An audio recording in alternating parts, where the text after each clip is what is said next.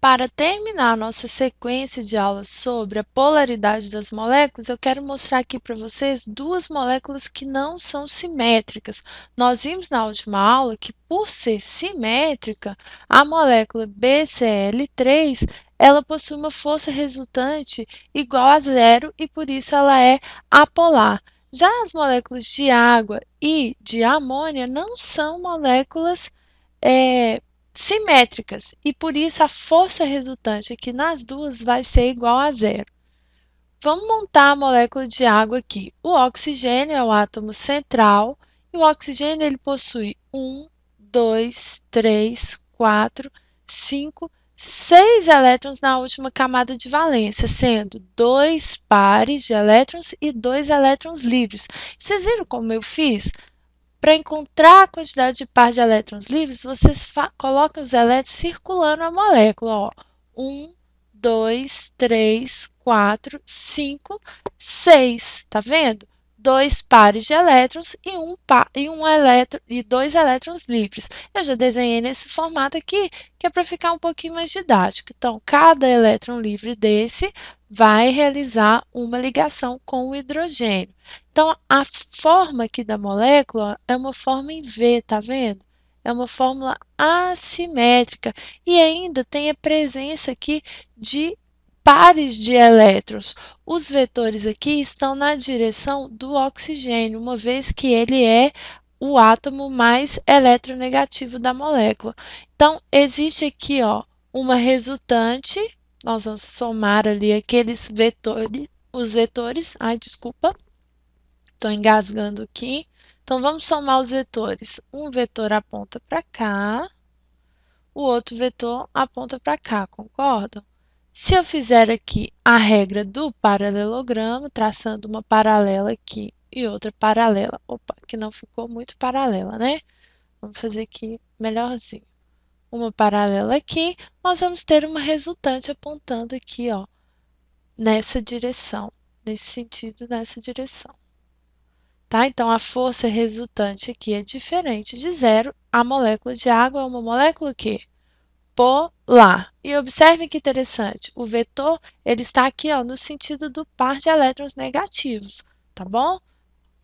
Agora, vamos fazer aqui para a molécula de amônia. Deixa eu tirar esse O aqui. Vamos de novo determinar a geometria dessa molécula. Como que nós vamos fazer? O nitrogênio é o átomo central. Nós sabemos que ele tem cinco elétrons na última camada de valência. Então, vamos desenhar esses elétrons aqui. Um, dois, três, três, quatro, cinco. O nitrogênio, então, tem três elétrons livres que vão estabelecer ligações com os hidrogênios e um par de elétrons que nós chamamos de não ligantes.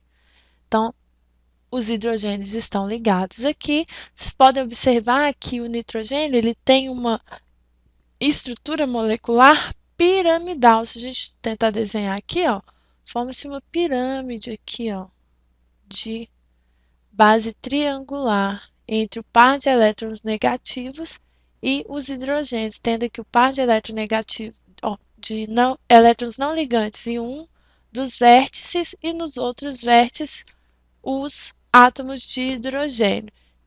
O, o átomo mais eletronegativo é o nitrogênio, então o vetor ele está aí na direção no sentido do nitrogênio.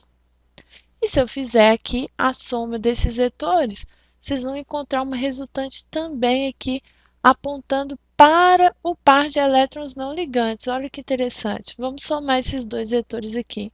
Tem um vetor para cá e um vetor para cá.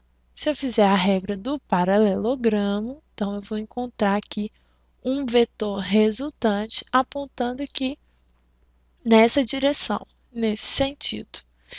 Se eu somar esse vetor a esse terceiro vetor aqui, somando esses dois vetores, eu vou encontrar um vetor resultante maior, desse tamanho aqui, não é? Ou seja, a força resultante aqui também é diferente de zero. A molécula de amônia é uma molécula o quê? Polar, ok? E observe o vetor resultante está novamente na direção do par de elétrons não ligantes. Então, toda vez que uma molécula for composta por um átomo central que possui um par de elétrons não ligantes, vocês podem já considerar essa molécula uma molécula polar, porque a soma de vetores não vai ser igual a zero. Aqui eu esqueci de colocar o diferente, né? Diferente de zero, ok? Um grande abraço e se vocês tiverem dúvida aí sobre a polaridade das moléculas, envie para nós através do site quadro.com.br. Bons estudos!